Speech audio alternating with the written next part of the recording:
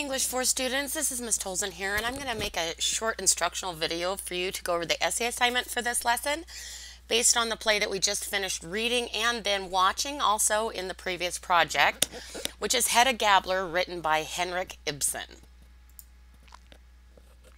So our essay topic is going to be why did Hedda, Hedda Gabler commit suicide at the end of the play? And so in order for you to come to your conclusion or form your opinion, I want to take kind of a, a, bit of time to quickly go over the character of Hedda Gabler herself. So essentially, what we should have come away from this is is knowing that Hedda is not a nice person. She she taunts a recovering alcoholic about his masculinity and kind of goads him into drinking again. She takes advantage of her husband's dying aunt to steal an irreplaceable document and then she tries to trick a man into committing suicide and kind of takes pleasure in the romance of his death. So, why does she do all of this? Well, there's several reasons. And essentially, the short answer of it is because she's female and it's the Victorian era. And for those of us who weren't around to experience it personally, it really wasn't a fun time to be a woman. I mean, if you look at, your, at the text, for example, Hedda isn't allowed to hang out with a man unless a chaperone is around. Um, she's not allowed to go to the judge's party. She has to be careful not to use the word night when referring to the time she spends with her husband because, you know, that might imply sex.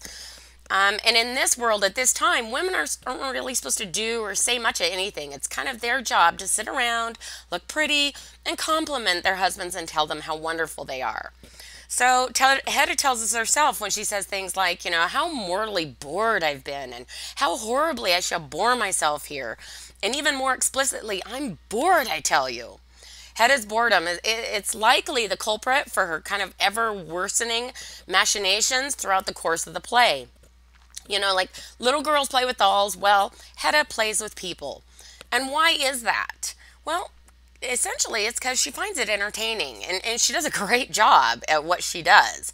She can fake a friendship. If you check out her her uh, her act one conversation with mrs Elvsted she fabricates motives in regards to burning the manuscript. She conceals emotions. But her greatest asset really is her ability to extract the information that she needs from others. Head is kind of like this walking confessional uh, everybody else seems to just be more than happy to tell her their secrets. She's really skilled at asking questions without ever answering one herself. Um, and so I, Eilert says it best. I used to make confessions telling you things about myself that no one else knew. And he, when he asks her kind of what powers in her made him do so, she, all she replies is, You think this is some kind of power in me? She answers the question with a question. So really, she kind of she knows what she's doing. In fact, only, the only character who seems to kind of get any truth out of her whatsoever is Judge Brack. Hedda knows this, and it really makes her very uncomfortable because she's kind of used to being the, the puppeteer, if you will, the manipulator. And she likes to, have, so to speak, have the upper hand. Now, what appeals to Hedda here is kind of the idea of power. Remember when Mrs. Elvsted wants to know why, you know, why are you manipulating Eilert like this? And her answer is, for once in my life, I want to have power over a human being. She considers Thea, quote unquote, rich for her, her influence and herself, quote unquote, poor for the lack of it.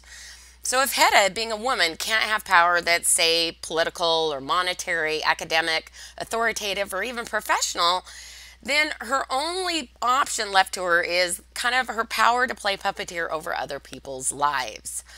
And Hedda doesn't like her life. She tries to, you know, kind of live through other people instead. She wants what others, and by that I mean what men have, but she's forbidden to partake in. And so this is the reason for her friendship or closeness with Eilert in the past. She can't really step into that world and say drink carelessly or blow off her aristocratic family and, you know, kind of sever ties with them. She can't really be a renegade. So the closest thing that she can do to to living in a way in being living vicariously is through listening to his stories.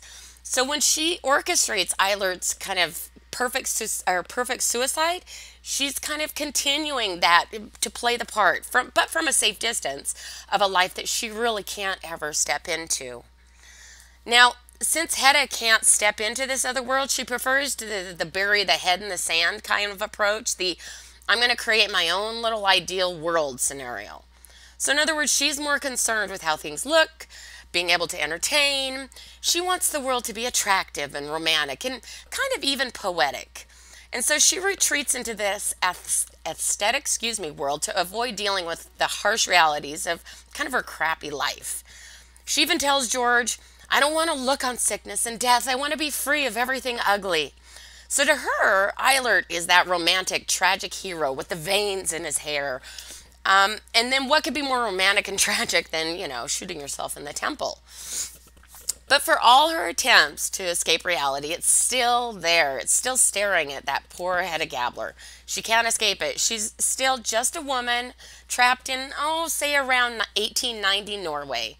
And she might seem like a rebel or at least eons ahead of her time, but she's actually very much restricted by the social standards that she despises. And we see this best through Hedda's quote unquote deathly fear of scandal. The fear of, the fear of scandal is kind of the reason that she broke things off with Eilert in the first place. You know, she married George because, according to society, she had to marry somebody. Um, and she doesn't really love her husband. And but you know, in the same token, she doesn't expect to be unfaithful either because again she can't risk the run the risk of scandal. And then more importantly hedda has to keep up appearances. She might be maybe seething with rage and shide but she has to maintain her cool on the outside her outward appearance. And we know this is all taking a toll on her because we see that inner rage bubble up every now and then but when she's finally left alone in Act 1, Hedda moves about the room, raising her arms and clenching her fists as if in frenzy. And then in Act 4 again, she clenches her fists in despair and declares that she'll die from all these absurdities.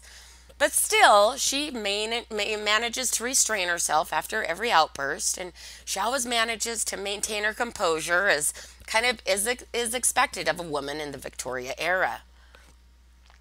So she hates the fact that she does indeed have to conform to society's expectations of herself, and she repeatedly calls herself a coward. She's a coward because she isn't willing to break the rules. She's a coward because at the end of the day, she's still trapped inside that parlor room. So, doesn't it kind of seem fitting that she dies in the inner room behind the closed curtains? So, this leads nicely into our next big question is why does Hedda commit suicide?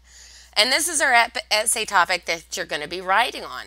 So now that you know uh, after both reading and watching the play, I want you to write a four to five paragraph paper on why you believe Hedda Gabler commits suicide.